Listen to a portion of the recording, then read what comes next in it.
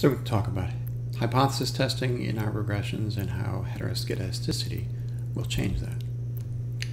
So, you know, we're often going to be doing hypothesis testing, and one of the first things to talk about is the distinction between, you know, doing a t-test on an individual uh, regression coefficient versus doing a usually f-test on all of the regression or a set of regression coefficients taken together.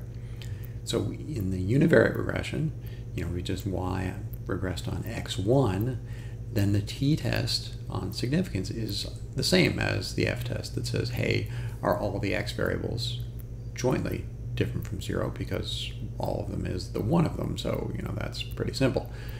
If there's a multivariate regression, which is usually the case, then the f-test is testing on whether all of the slope coefficients are each and every one of them is zero, right? If that's a, if or alternately saying, is there evidence that they're not all together zero?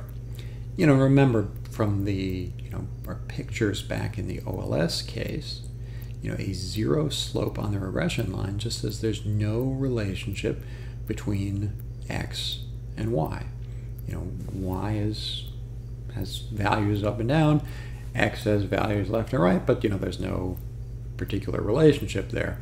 So that would be a zero slope on the, and you know, again, in multi-dimensions, the zero slope at least uh, generalizes there. You know, so we can have different tests. We can test whether a group of beta uh, coefficients are all equal to zero. Or again, if we wanted, we can think, test if they're all equal to some other number. Um, but that's going to be different then testing is just one of them, zero. Or like I said, sometimes a set of coefficients. You know, for instance, if we have a bunch of dummy variables for education, you know, we might want to test, well, is education overall, you know, however fine grain we uh, divide it, you know, is education overall significant? Or And so, you know, we have this linear hypothesis is the little function in R to do that. And you know, you can explore that at your own pace. You know, so I mean, let's think about the basic idea of how these tests are set up. You know, the OLS regression is trying to minimize the sum of squared errors, right? It's choosing coefficients, choosing beta coefficients to make the sum of squared errors as small as we can possibly get it. Um, if I add one or more x variables, then the error is certainly going to get, it's not going to increase. It's going to get go down typically. Um, but how much down? You know, is, is it going to go down by a big amount or is it going to go down by just a little amount? And, you know, the classic statistician's formulation, you know, McCloskey's phrase is how big is big? Right? Is there a big difference in the sum of squared errors between two models where one has more x variables in it? Um, the other way an economist might put it is, you know, is adding more x variables has a marginal cost. How large is the marginal benefit, right? And again, rational decision making will have to trade off on marginal benefit and marginal cost. Um, you know, now adding variables makes the error smaller, dropping variables makes the error bigger. I mean, you can kind of think of, you know, either direction there. Now we're assuming we have nested models, right? That the, typically when we're doing this, you're, you know, have so you have the same y variable. Um, you know, this doesn't much help if you're doing slight differences in y variable, like you know, if you're changing the units or you're doing some more complicated things. But like I said, it's often done for like sets of dummy variables. Um, and again, the final thing I will keep coming back to because I know everybody tends to forget it at various times what we're doing, statistical significance is not the identical thing to important. It's quite possible that things either maybe are important even if they're not statistically significant, or vice versa, they may be statistically significant but unimportant in lots of other ways. So, you know, again, don't get too confused over just because we have lots of nice mathematics about statistical significance. We do not have nearly so much about well, what is actually important? That's much more about your judgment. But, you know, we can think about where these formulas are coming from. Um, you know, so if we're minimizing the sum of squared errors, then we can, or sometimes called sum of squared residuals, and I believe the textbook uses that, uh, S, SSR. Um, you know, that's the, each error is y minus the beta hat values times x, and so the sum of those squared residuals is just the sum of the squared residuals. Um, we'll assume we have SSR naught and SSR 1, um, where model 0 has fewer variables, so it's going to have a bigger error. And you know the we can find well what is the percent change in the sum of squared residuals. And so that is in some sense the benefit. We want to basically calculate the elasticity. Right? There's the percent change in the sum of squared residuals. We're going to divide that by the percent change in the number of x variables. So you know, we have the model naught has n minus k minus 1 degrees of freedom. The model 1 has q more uh, variables, and so q fewer degrees of freedom. So the percent change in degrees of freedom is given there, and when we divide 1% change by the other percent change, and that gives us an F statistic, which, you know, is... Now, I'm then going to back off and say, well, that's only if I have homoscedastic errors.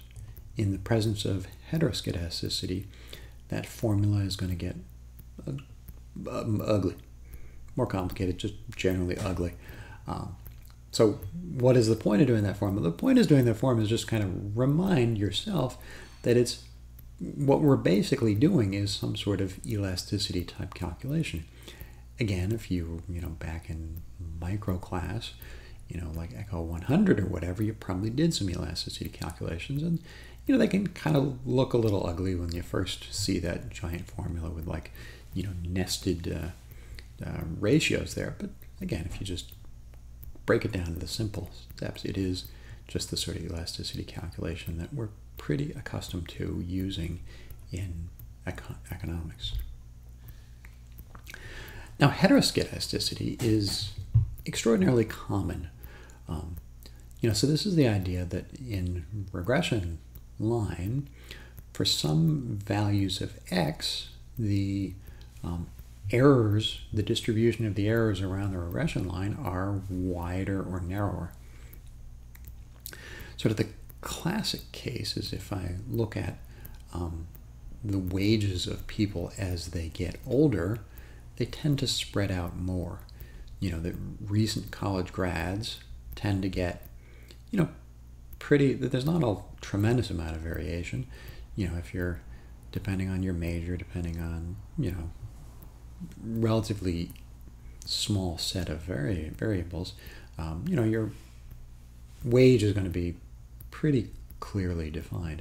But then as people get older, you know, the, over their the span of their career, you know, some people tend to really see, see significant increases. Other people do not. So that gives heteroscedasticity. There's more of a spread as people get older. Which, again, if I say that older people tend to spread out more, you might think around the waistline and we'll just talk, you talk about that. But, you know, also in terms of their, yeah, wage around the regression line. Um, but again, heteroscedasticity can come in many, many different forms. You know, that's just one example. Um, you know, the so, you know, reeling back, so the Stock-Watson textbook always uses what are called heteroscedasticity consistent errors. Sometimes uh, the people that developed this, not always working together, were Eicker, Huber, and White.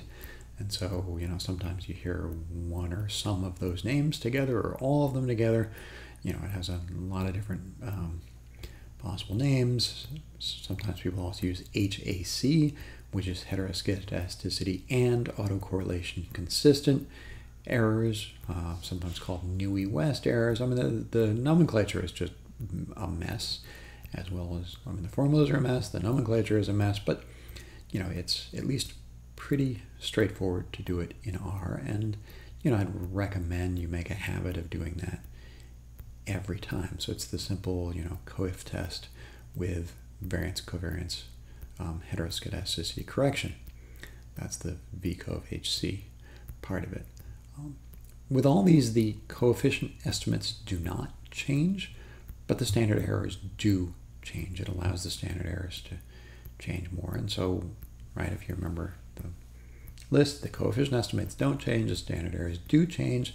So that is going to change the t-stats and change the p-values. Um, so usually the standard errors are going to increase. So, you know, and you should be able to by now have the intuition settled that as the coefficient doesn't change, the standard error goes up, and the t-value goes down, and so the p-value goes up. And if you haven't got each of those steps settled in your mind, then make sure you go back and make sure that it is more settled because you know that's an important part of the understanding that we're trying to develop here.